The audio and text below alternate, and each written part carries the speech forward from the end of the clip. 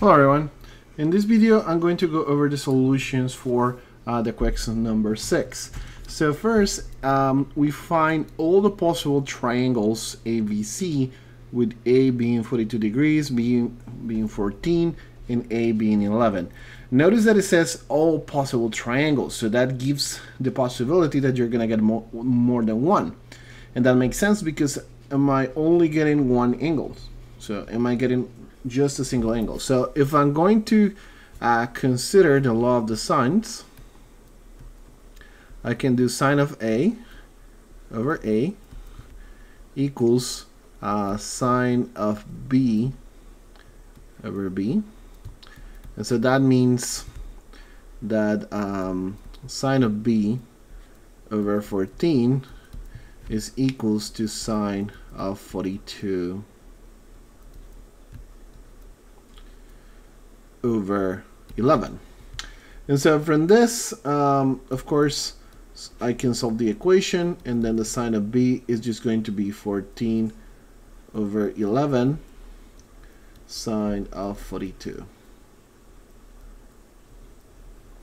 It is important that we verify that this is a number that is not bigger than 1.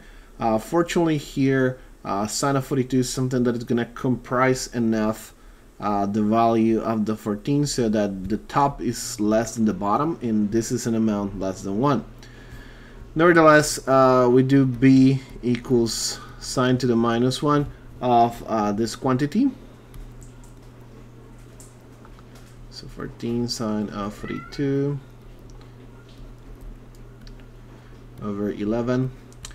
And then uh, this is going to produce initially B to be 58 degrees. Now, uh, we gotta check the possibility of a second angle.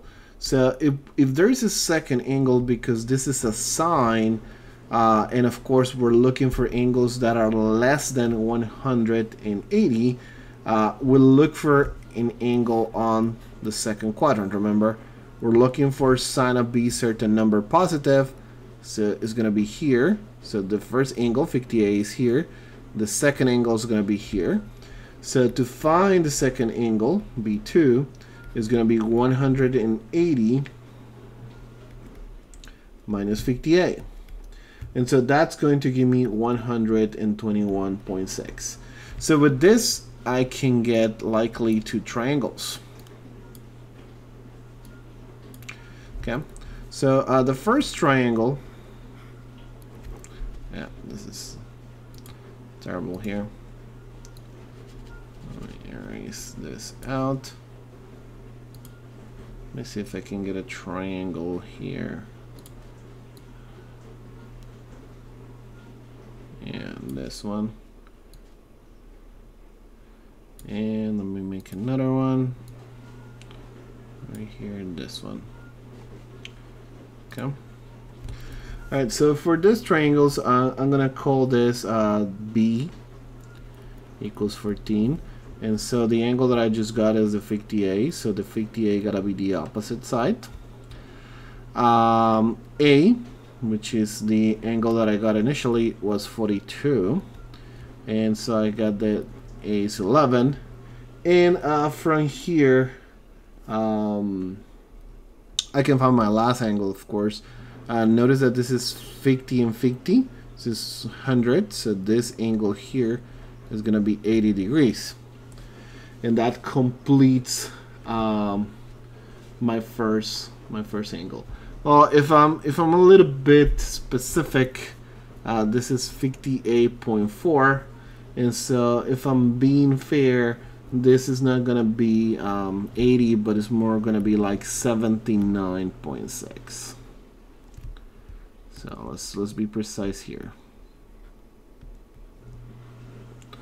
79.6 and this is like 50.4 58.4 okay. Uh, and so that completes um, initially uh, the angles. Once that I have this angle I can just use law of the sines to find C. And so this C here uh, I can find by doing six, sine of 79 over 6 and, and C over that. right, equals to, and then I can use any of the angles. I can use uh, 11 over sine of 42. And so that's that's going to give me C. Uh, if I if I solve for this, I'm gonna find that C is 60 16.2. Um, sorry, 16.2 length. This is not degrees. Okay. Uh, remember, we're finding this side C here. Now, for the second angle, uh, we'll still have a similar situation. We have 42 here. Uh, we have b equals 14 here. We have 11 here. And then um, the second angle that we found was 121.6. 121.6 and 42 actually is going to give me the chance to have another angle and I can find how much this is by doing 180 minus 42 minus 121.6 which is gonna end up being uh, 16.4 degrees and of course I can do the same thing to find what the value of C is here. So I can do C over sine of 16.4 and this is equals to 11 over sine of 42 and if I use that to solve the equation I'm gonna sign I'm gonna find out that sine is uh, that C is approximately uh, 4.6 that is after solving the equation in each case now let's go to uh, the second question for the second question, we have uh, a triangle. And notice that um, we have certain information about this triangle. We have the information that um, this is 12, this is 19, this is 10.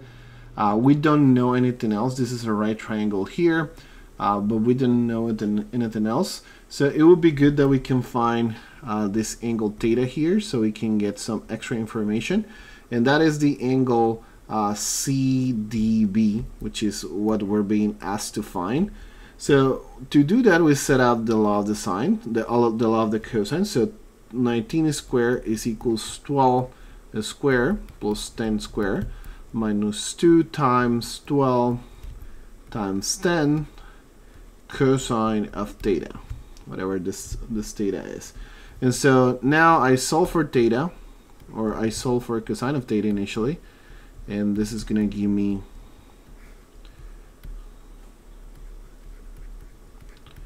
this equals cosine of theta and so using that I can just do theta is cosine to the minus 1 of this value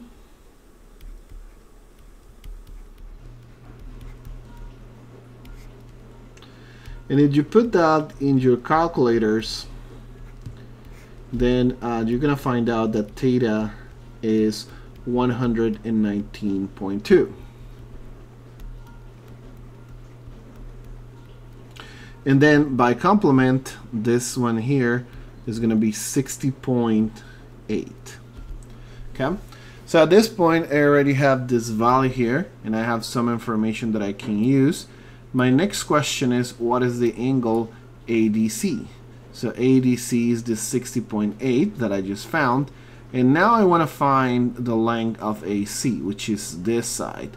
Uh, but because this here with this angle is a right triangle, I can use a trigonometrical identity, a normal trigonometrical identity for the opposite. So opposite here over hypotenuse, which is 12, is going to be equals to the sine of 60.8. So that means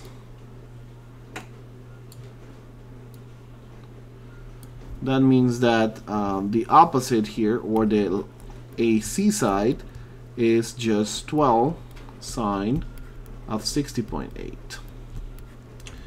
which if we compute this in our calculators this is going to be 10.5 okay so that is the solution to quiz number 6